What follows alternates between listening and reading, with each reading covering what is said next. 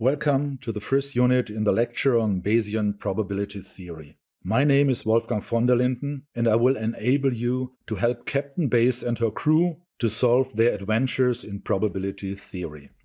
The first episode helps us to enter the discussion of Bayesian probability theory. And the aim of this unit is to provide you with the language to describe probabilistic problems, have a first glimpse on the different concepts of probability theory, and to enable you to solve elementary problems. Let us start with some definitions that will help us to find a language to formulate problems and solutions. Problems with uncertain outcome can also be formulated as questions. For example, the question may concern a random experiment, as for instance the random compass. A possible question could be in which direction will the compass needle point? Another famous experiment is performed with a die, where we can ask the question how many pips will the die show at the next throw? But the question does not necessarily have to do with random events, like what's for lunch tomorrow. The uncertainty may just be due to lack of information. It doesn't even have to have anything to do with future events whose outcome is uncertain for everyone. For instance, where is Captain Bayes?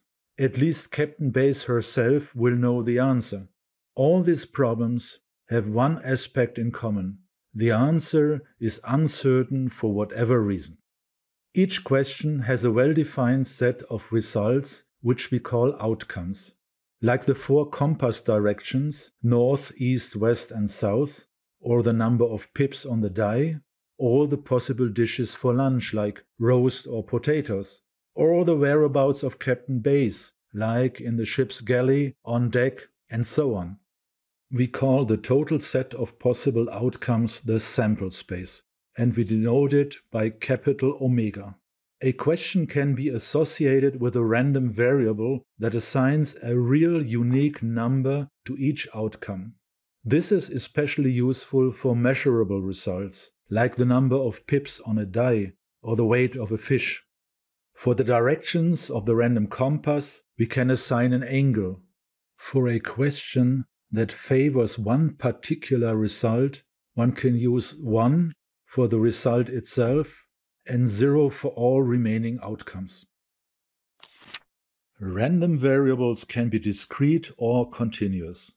Discrete variables have distinct values, which in many cases are natural numbers, like the pips of the die.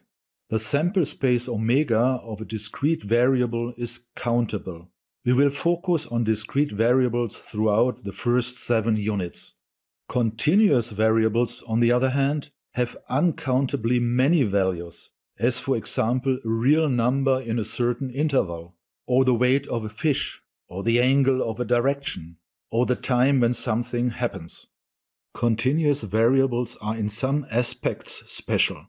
Counting of all possible or favorable outcomes is not possible, and a different principle of measuring, measure theory, has to be used.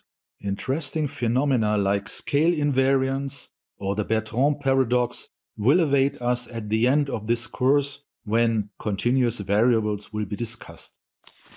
Now we continue with the formulation of probabilistic questions and generalize the result of a random experiment which so far was called outcome.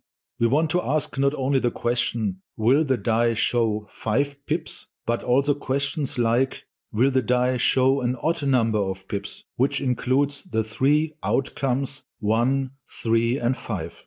The generalized result of a random experiment is now formed by a subset of the sample space, which we call an event.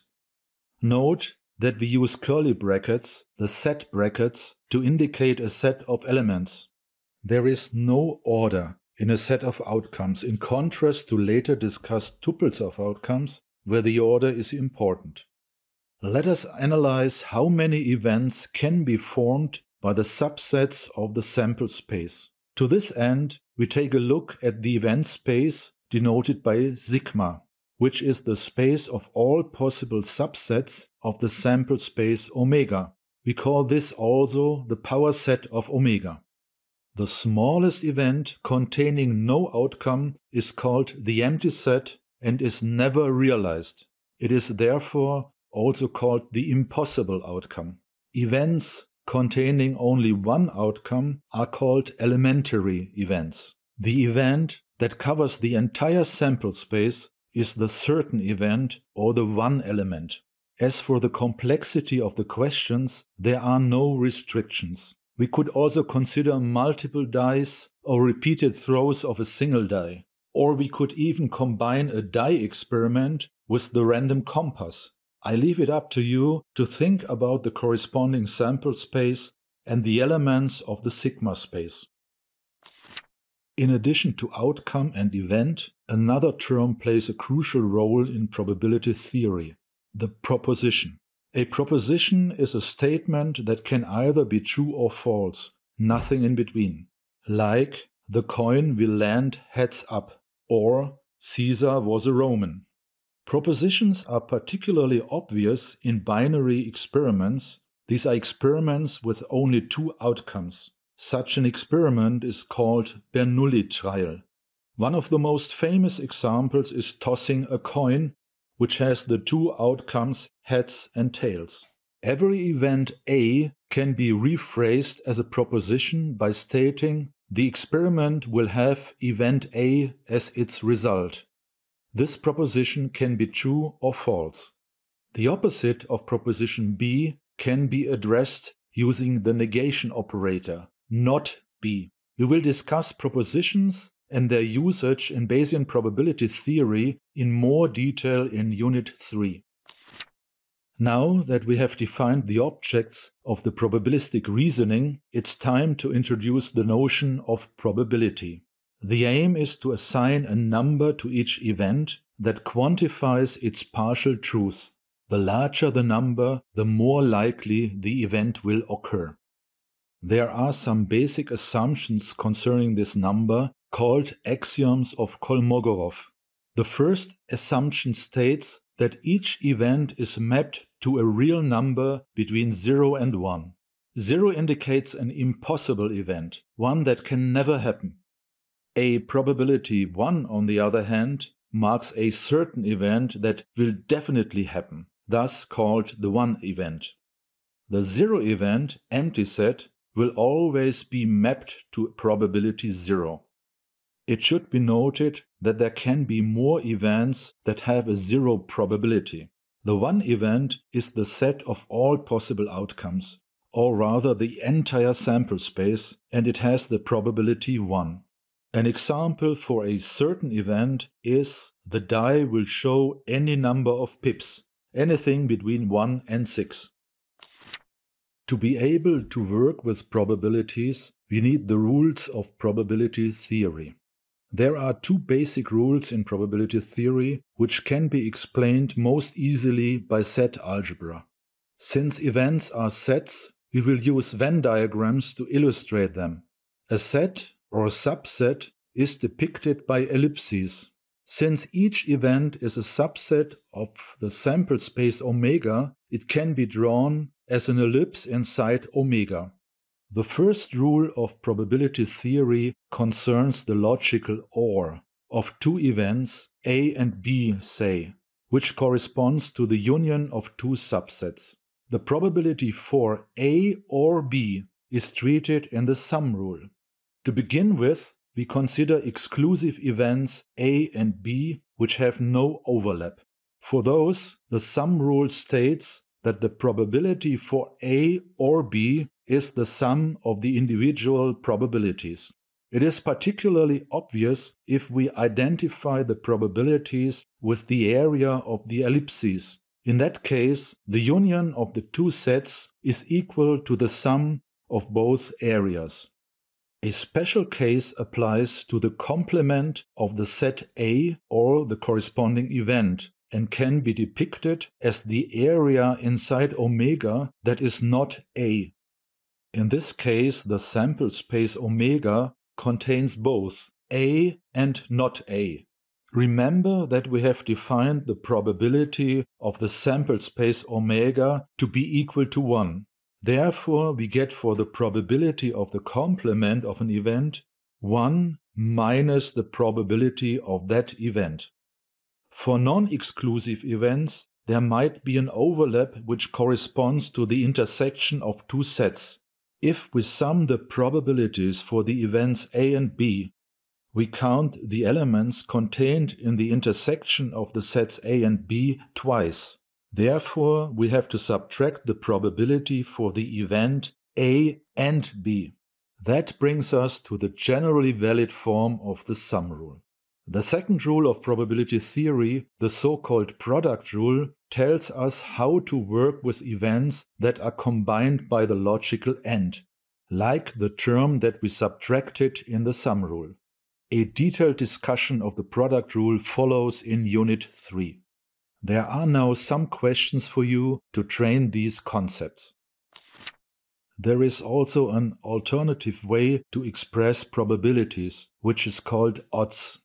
Odds map events not to the interval 0 to 1, but to any positive number, and they are commonly used in sport bets and some applications of statistics.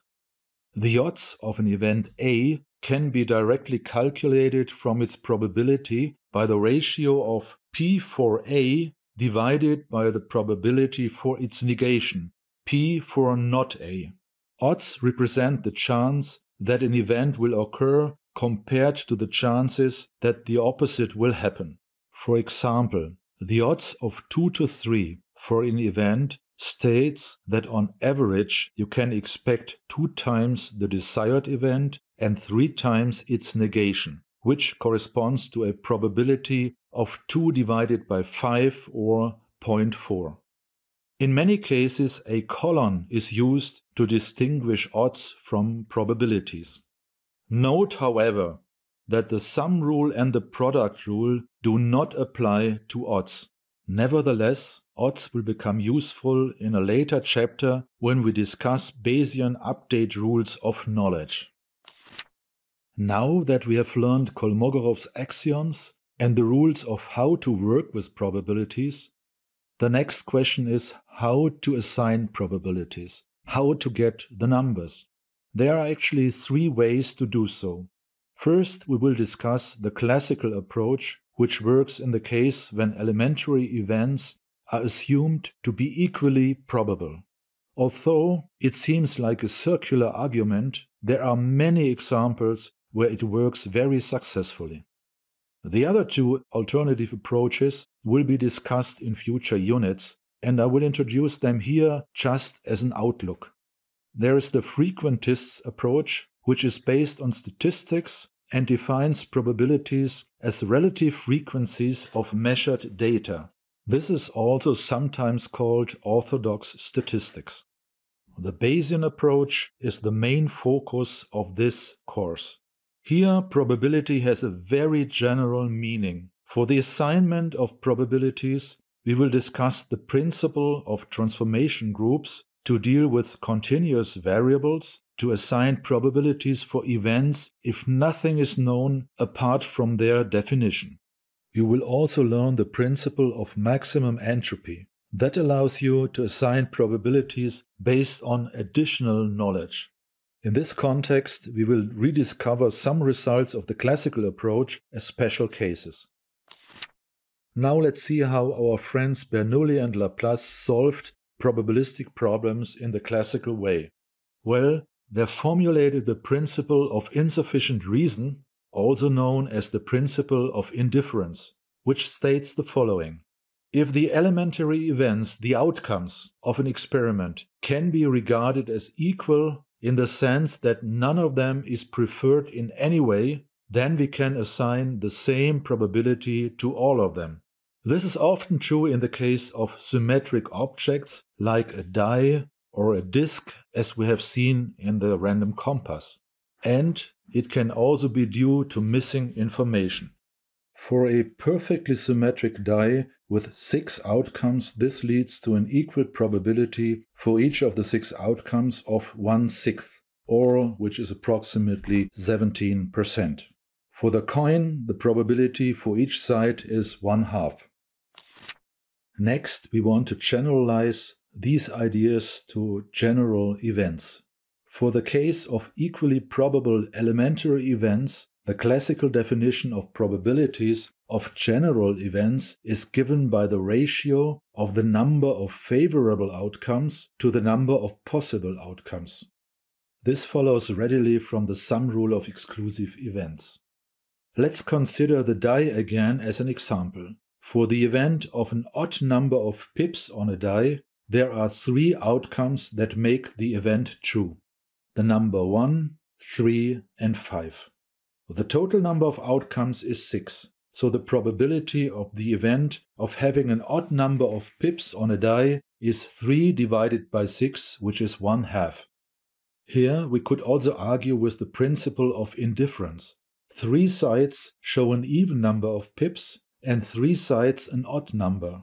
There is no way we can distinguish these two sets of sides. Therefore, odds and even number of pips should have the same probability, one half. The question of the probability of having a day off on Captain Bayes' ship is more tricky. First, one has to identify the full sample space omega. Since the compass needle is twisted twice, one has to combine each result of the first dial with all four possible results of the second dial, resulting in a total of 16 possible outcomes. Now, the order of directions is important. Northwest is a different outcome than west north. In contrast to the curly brackets for sets, we now use round brackets for these tuples to indicate that the sequence is important. In the second step, we need to identify the favorable outcomes for the free day event, namely north south, south north, east west, and west east. Hence, there are four favorable outcomes. The probability for the free day event is thus given by 4 divided by 16, which is equal to 25%. This concludes the first unit. Please have a look at the bonus material. Feel free to ask questions in our forum and be encouraged to test your knowledge in the quiz.